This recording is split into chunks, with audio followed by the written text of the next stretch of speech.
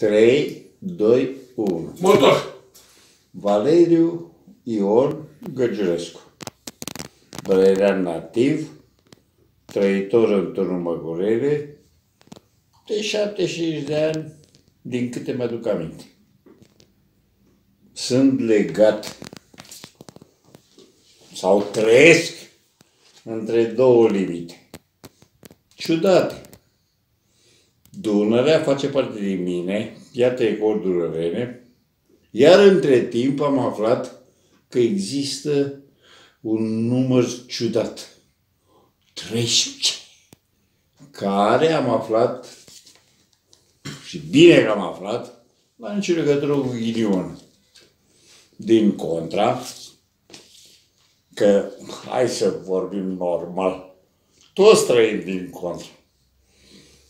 E legat de o întâmplare fericită a vieții mele. Tot ce mi s-a întâmplat mie mai frumos în ultimul timp, asta e la 82 de ani. Și în ultimii 10, maximum 12 ani. Cam de pe când ne-am întâlnit prima dată cu acest, acest Mihai Vintil. Nu facem altceva decât pe Facebook să ne gratulăm unul pe altul. Ce să facem? Ne aplaudăm între noi, că așa facem noi ăștia. Cu ghilimele de rigoare, creatorii de frumos.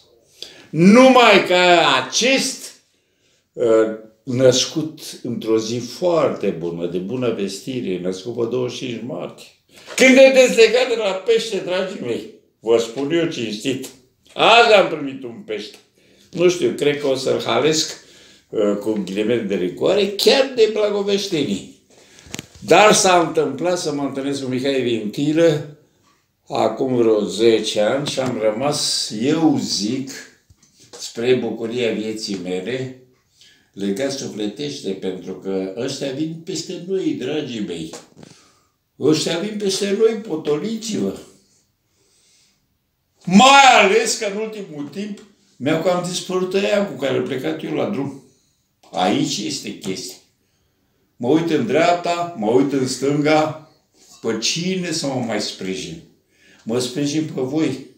Cei care, adminterea de acolo, clar pe bază de buletin, ar putea fi copiii mei. Aflu de la voi, de la fiecare dintre voi, lucruri noi care mă bucur, care mă motivează. Pentru că trăiesc între voi și dacă n-aș fi alături sau asemenea vouă, aș fi fost de mult pierdut în necunoscut.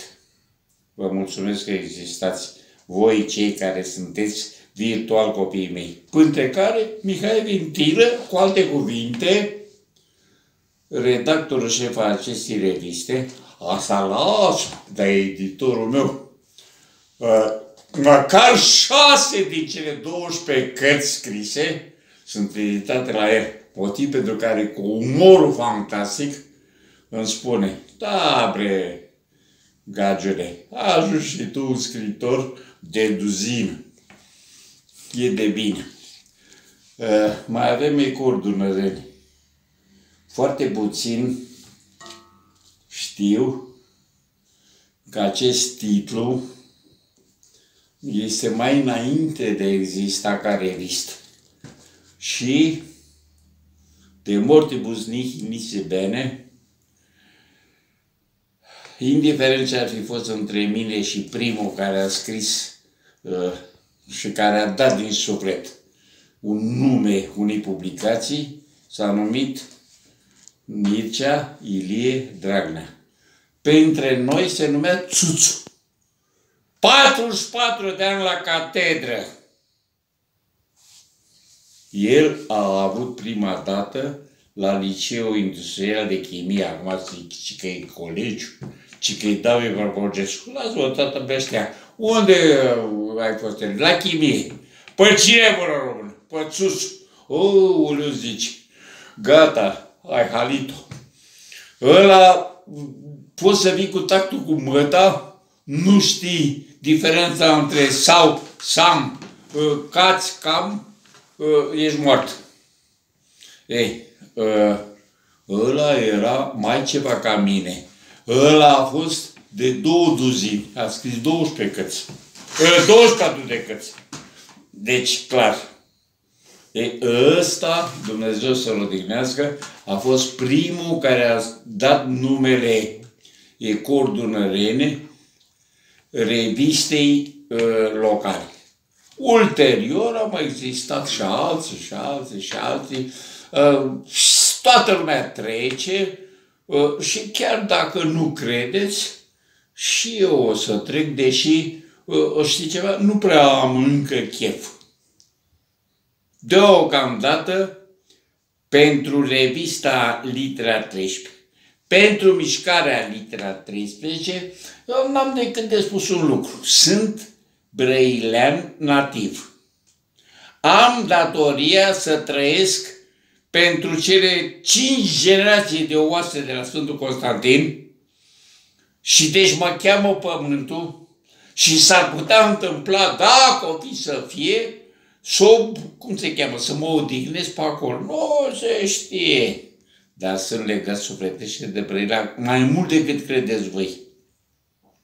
Și cu băieții ăștia, bă, ăștia sunt niște ciutați, vă spun eu precis. Niciunul de aceeași profesie. Care inginer? Care militar? Care economist? Care, bine, aici ne-am dat, mai zic ceva, era să zic cu necuratul, dar semn un post. Ăla are exact studiile mele, și economice și juridice. Oh, ce să fac? Mai e unul, ăla are, are beleat. Ne-am dat drept. Ups, și scăpai treaba. Și atunci, cum să nu iubești pe toți când nu există lucru comun între ei să discutăm același lucru?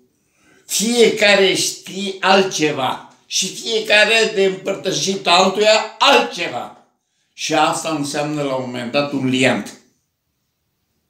Și ăsta este rezultatul. Revista crește de la număr la număr. Toată lumea știe precis că pe acolo nu se bagă orice. E o cenzură fantastică.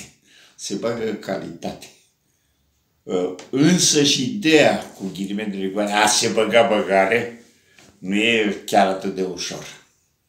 Deci dacă ajuns să fii publicat în revista Litera 13, calitatea primează. Esența ă, sau ca să că uitasem de un alt inginer cornavă, navalist. Esențial! Nu merge altfel.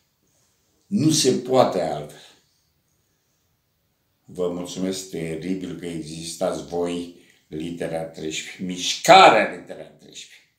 Acest ciudat amalgam de personalități diferite între ele, între ei sau personalitate diferită între ele, am zis mai bine, Bă, uneori e emoția, știi? Care emoție? N-am nicio emoție.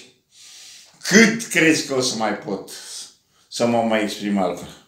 Sinceritate, vă iubesc fantastic.